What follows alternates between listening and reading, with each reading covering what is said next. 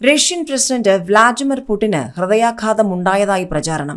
Russian സൈന്യത്തിലെ ഒരു മുൻ ലഫ്റ്റനന്റ് ജനറലിന്റെ നേതൃത്വത്തിലുള്ള ടെലഗ്രാം ചാനലിലാണ് പുടിന് ഹൃദയാഘാതം ഉണ്ടായതായി ആദ്യം വാർത്ത വന്നത്. ഇതിനു പിന്നാലെ പാശ്ചാത്യ മാധ്യമങ്ങൾ ഇത് ഏറ്റുപിടിക്കുകയായിരുന്നു. അതേസമയം പുടിന് യാതൊരു ആരോഗ്യ പ്രശ്നവുമില്ലെന്നും അദ്ദേഹം സുഖമായിരിക്കുന്നുവെന്നും ക്രംലിൻ പ്രതികരിച്ചു. പ്രാദേശിക സമയം ഞായറാഴ്ച വൈകിട്ട് മോസ്കോയിലെ സ്വകാര്യ അപ്പാർട്ട്മെന്റിലുള്ള കിടപ്പുമുറിയിൽ പുടിനെ തറയിൽ വീണ് കിടക്കുന്ന നിലയിൽ സുരക്ഷാ ഉദ്യോഗസ്ഥർ കണ്ടെന്നാണ് ജനറൽ എസ് എന്ന ടെലഗ്രാം ചാനലിൽ വന്ന പോസ്റ്റ്. ഉടൻ തന്നെ ഡോക്ടർമാർ സ്ഥലത്തെത്തി പ്രസിഡന്റിനെ പരിശോധിക്കുകയും ഹൃദയാഘാതം ഉണ്ടായതായി സ്ഥിരീകരിക്കുകയും ചെയ്തതായി പോസ്റ്റിൽ പറയുന്നു. അപ്പാർട്ട്മെന്റിൽ തന്നെ സജ്ജീകരിച്ചിട്ടുള്ള പ്രത്യേക തീവ്രപരിചരണ വിഭാഗത്തിലേക്ക് അദ്ദേഹത്തെ മാറ്റുകയും ചെയ്തു. എന്നാൽ ഇക്കാര്യങ്ങൾ റഷ്യ നിഷേധിച്ചു. പ്രസിഡന്റ് വ്ളാഡിമിർ പുടിൻ പൂർണ ആരോഗ്യവാനാണെന്നാണ് ക്രെംലിൻ വക്താവ് ദിമിത്രി പെസ്കോവ് മാധ്യമങ്ങളെ അറിയിച്ചത്. അദ്ദേഹം സുഖമായിരിക്കുന്നു. ഈ വാർത്ത പതിവ് പോലെ വ്യാജമാണെന്ന് പെസ്കോവ് പറഞ്ഞു. പൊതുവേദികളിൽ പുടിനുമായി രൂപസാദൃശ്യമുള്ളയാളാണ് പ്രത്യക്ഷപ്പെടുന്നതെന്ന വാർത്തയും പെസ്കോവ് ചിരിച്ചു തള്ളി.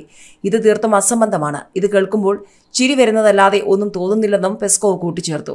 ഈ മാസം ഏഴിന് എഴുപത്തൊന്ന് വയസ്സ് തികഞ്ഞ വ്ളാഡിമർ പുടിൻ കഴിഞ്ഞയാഴ്ച ചൈന സന്ദർശിച്ചിരുന്നു. ഈ വർഷം ആദ്യമായാണ് പുടിൻ റഷ്യയ്ക്ക് പുറത്തേക്ക് യാത്ര ചെയ്തത്.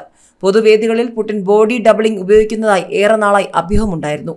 രണ്ടായിരത്തി ഇരുപതിൽ പുടിൻ തന്നെ ഇക്കാര്യം നിഷേധിക്കുകയും ചെയ്തു. News desk lemon news.